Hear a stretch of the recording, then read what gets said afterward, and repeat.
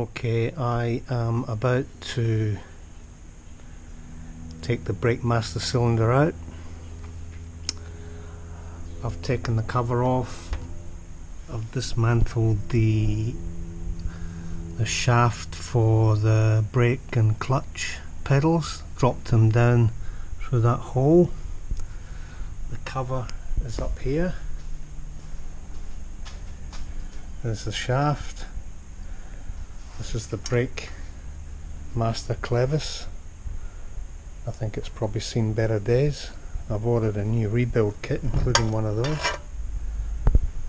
And uh, I've rigged up this little uh, setup to try and drain the fluid from the, the cylinder. It's just a jar with a tube in it and uh, a syringe just to suck it all out. So that's all it is. That one there is cut short from the top of the jar. The other one sits inside the jar. And I just suck it out. And it saves any mess. And hopefully it will suck all the fluid out of that cylinder. In fact if I left it there it would just slowly drain away. But it's almost empty anyway. Okay, I've undone the brake nipple at, at the rear and I've just managed to get that bottom bolt undone. You can get a spanner in the back of it but you have to manipulate the front. There's only one spot you can get the spanner in but, but it's doable. Let's see if it will come out now.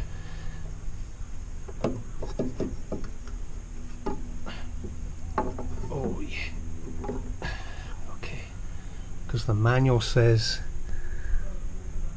to take the rubber bum, bung, sorry, bung from that bulkhead and it gives you rear access to the banjo fitting if the banjo fitting needs to come off that is.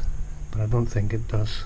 Or if I need to take it off I'll mark the position so that that um, that nipple can be screwed back in in the same spot as it came out. I've ordered a rebuild kit for this in the hope that the cylinder is going to be okay.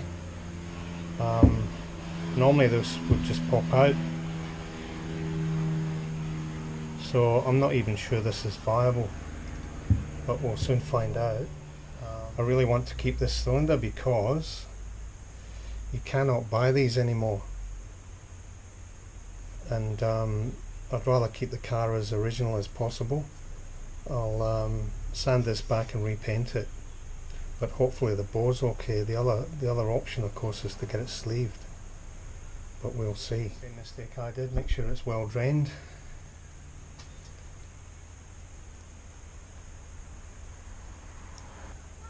So I'll give this a good flush with brake cleaner. Okay see if I can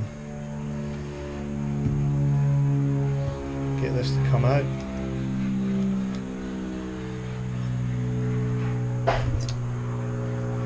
There we go. That's pretty messy.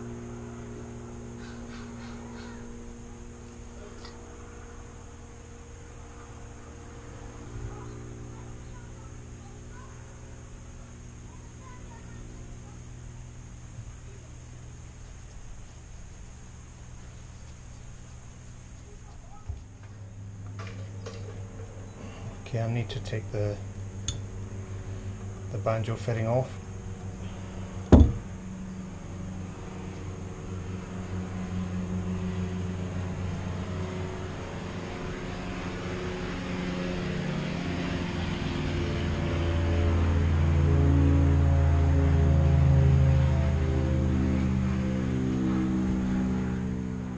To rod it to, to get the rest of the stuff out.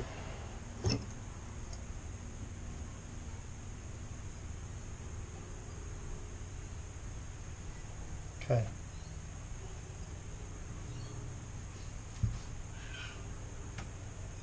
Pretty cactus. and that's how it goes.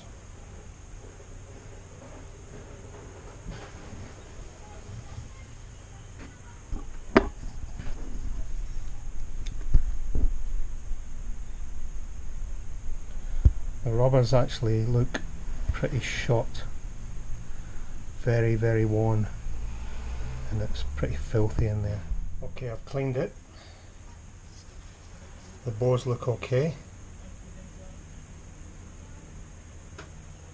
so what I'm going to do now is just strip all the paint off it and um, repaint it so we'll go we'll go through that process. I haven't got the repair kit yet anyway. I've also cleaned this up, the uh, piston. It was fairly rusty, and um, see how we go. I applied the paint stripper. Probably need a few coats of this. I'll scrape it all off, sand it back, prime it, and um, two pack paint it.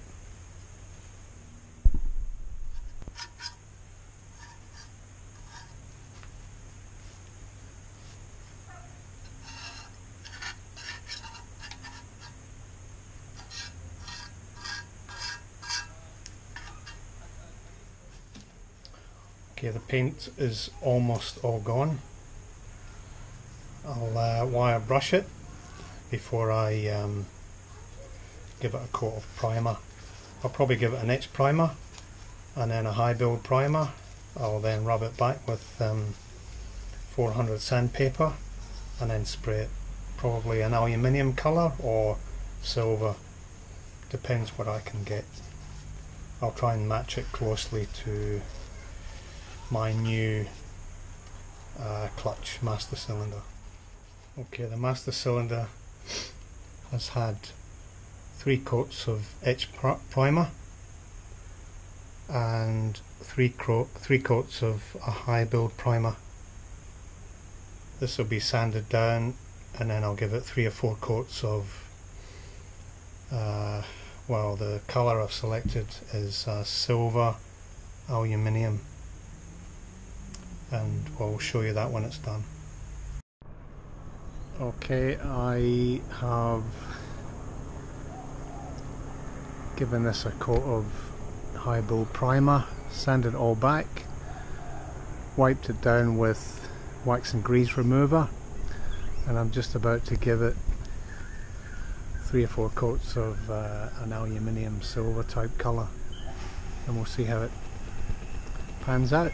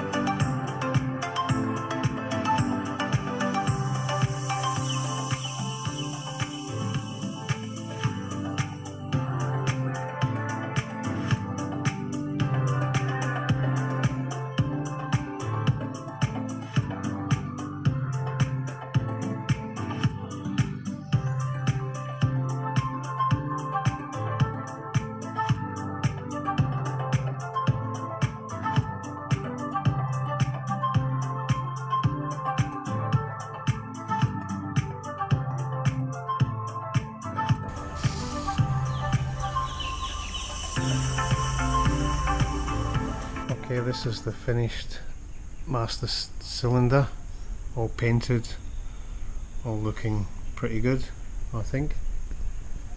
And I'm now ready to install the new seal, seal kit.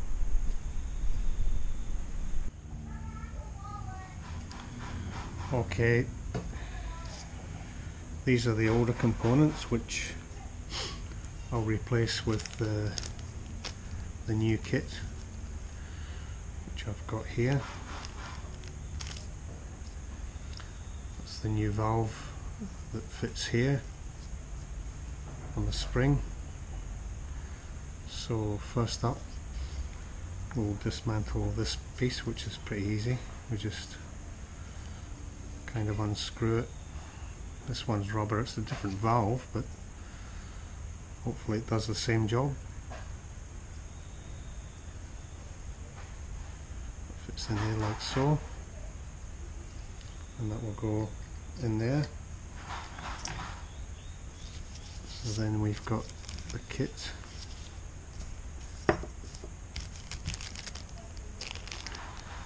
New washer. We've got the rubber kit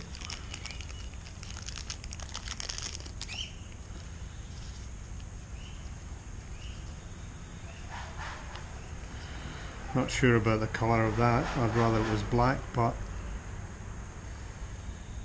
I can either reuse the old one or, or use that. I'll see how we go. Okay, that's the new cup. Just check that it's the same size, which it appears to be. Yep. And that's the new new rubber for that end rubber seal sorry. So we'll start we'll take this one off.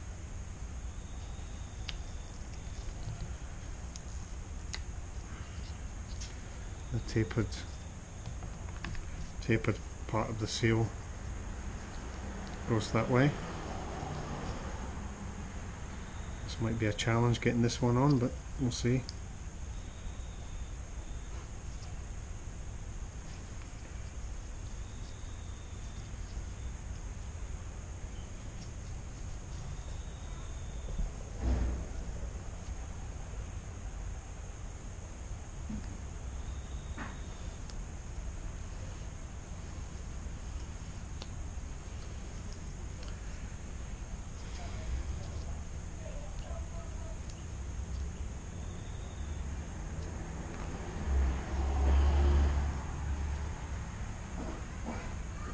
It's a challenge.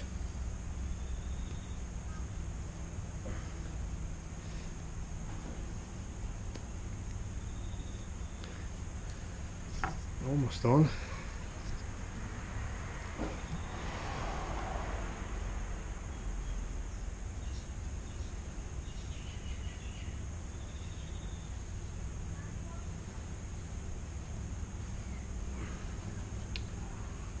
I don't want to damage it.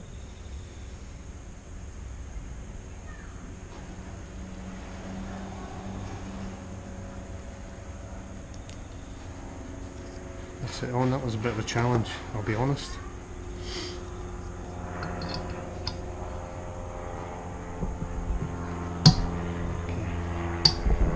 It does fit. So it's the new shim which sits here. That one sits there.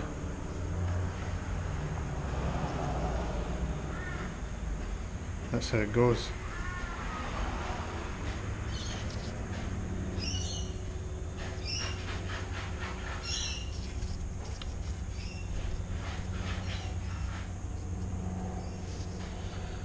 So these are the new components in place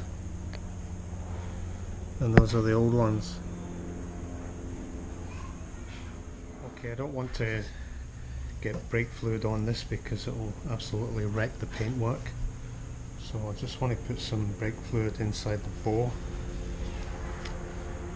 I'll just drip it in with a brush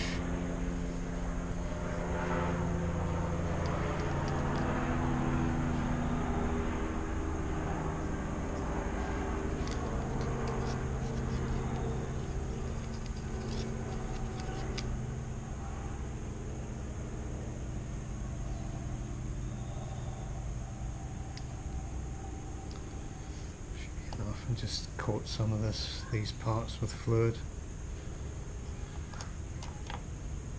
That should be enough. That fits in there like so.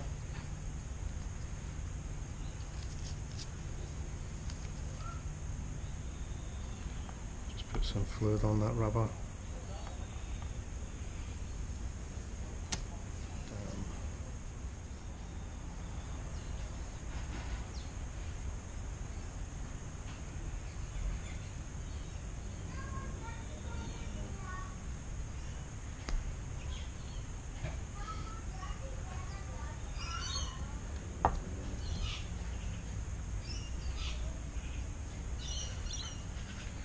Fit that in like so. Bit more fluid. Washer and piston.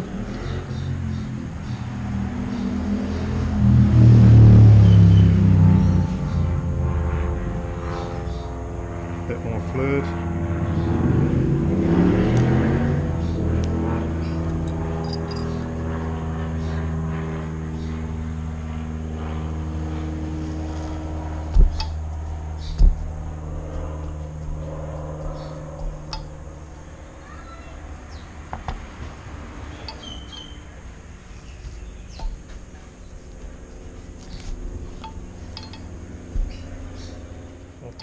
It's a case of pushing this in and um,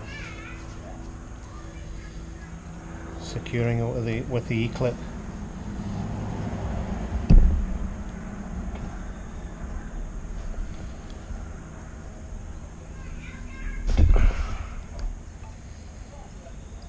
Tight fit.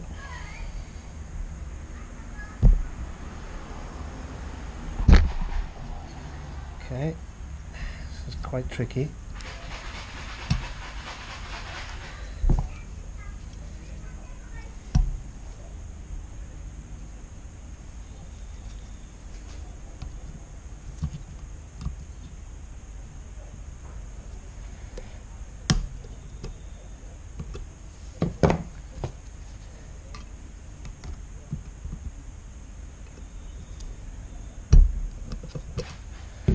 And that's it.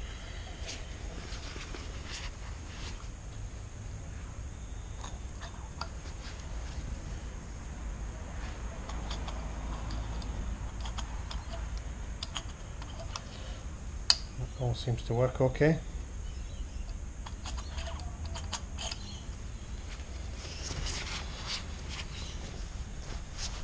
And uh, tomorrow I'll fit it on the car and then we'll bleed the brakes. I need to take the clevis back out so that I can install this in the car.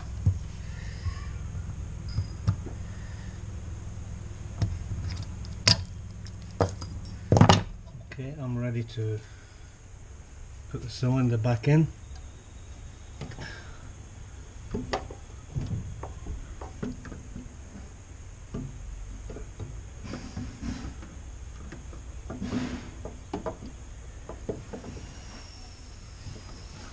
jiggling to get it in.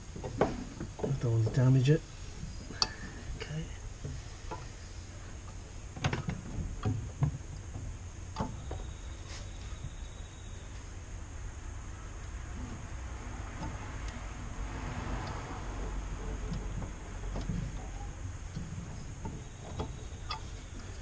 Okay.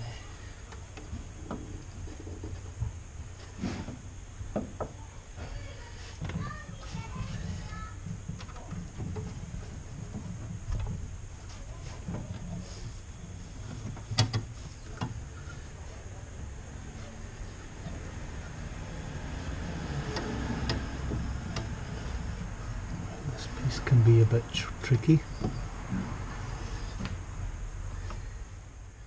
Okay, I managed to get it threaded, so it's just a case of tightening that up. It's a very tight space.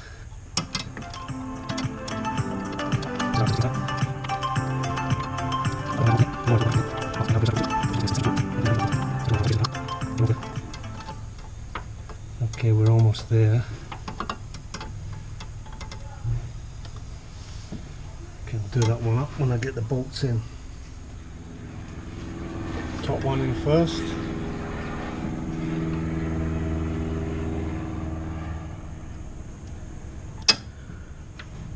Okay. That will help position the, the lower bolt. Okay, now this is going to be the tricky part, getting this bolt in. Let's see how we go.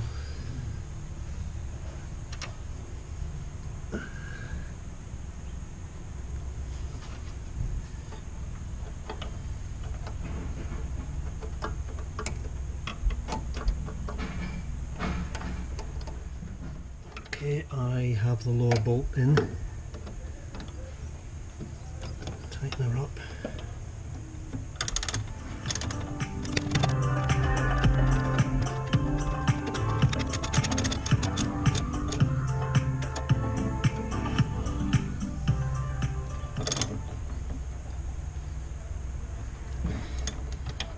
Okay, now we'll put the clevis in. Sometimes this can be a bit tricky. Push it in.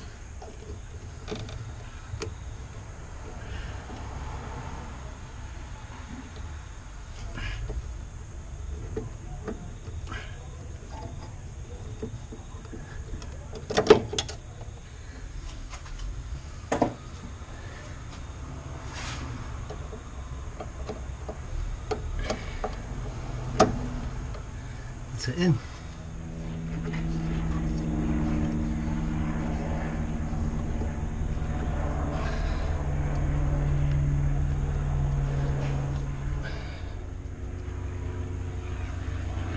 Okay, I've managed to get the pedals back in. That was a bit tricky.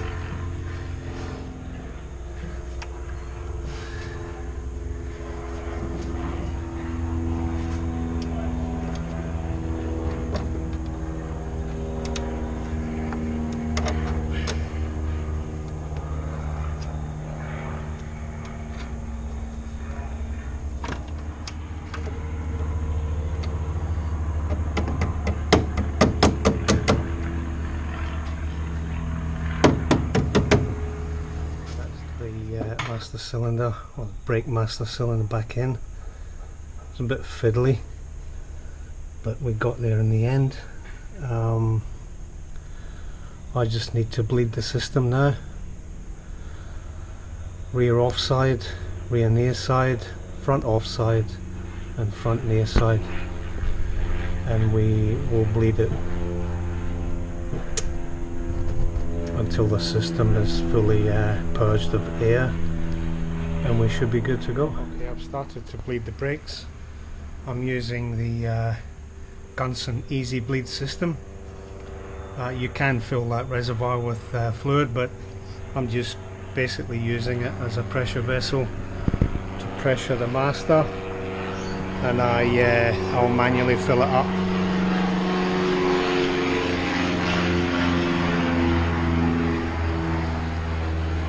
all I've done is uh, I'll connect to the spare tyre I've got and uh, the maximum pressure is 20 psi make sure the paintwork's covered because this stuff eats paint. So I'm just putting it in with a syringe and just um, taking note of the level in the reservoir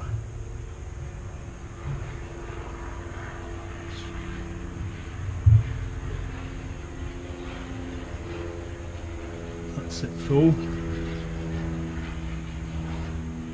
Connect this this end of the Eezibleed system to the reservoir. Move over here. I'll pressurize the system now. Done. Move up to the rear. I've done the uh, rear offside. And now I'll do the rear. Cork of the bleed nipple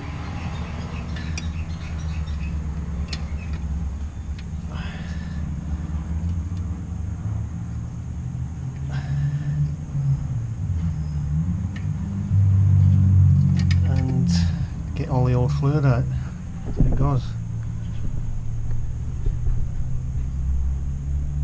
Wait till all the wait till the bubbles disappear and then I'll shut the valve.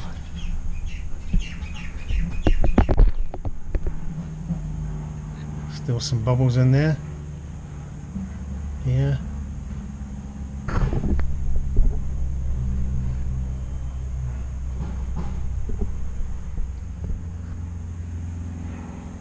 Don't want to over tighten this because these things can strip. Okay, all done. I've bled all the brakes. Rear offside. rear near side front off side and front near side and um, I do have brakes so hopefully all is good. I need to take it for a test run. Bit difficult under the um, current lockdown laws but I might take it tomorrow morning and um, fill her up with fuel. I think that's a good excuse. Okay. Until the next one. See ya. Keep well keep safe